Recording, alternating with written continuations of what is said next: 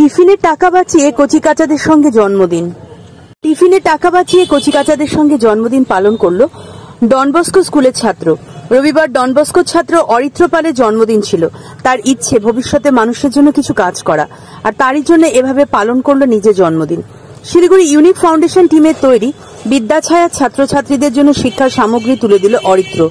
নিজের জন্মদিনের জন্য কেক কেটে খুদেদের সাথে নিয়ে সাথে ফুচকা ও বিরিয়ানির বিতরণ করে সে।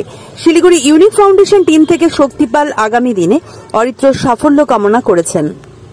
বার্থডের উপলক্ষে আমি আমার স্কুলের টিফিনের টাকা বাঁচাইয়ে অনেক বৃদ্ধা ছায়া স্কুলের ছেলে ছেলে বাচ্চাগুলোকে খাওয়াইলাম, অনেক বিরিয়ানি খাওয়াইলাম, ফুচকা খাওয়াইলাম, আর খাতা কলম দিলাম।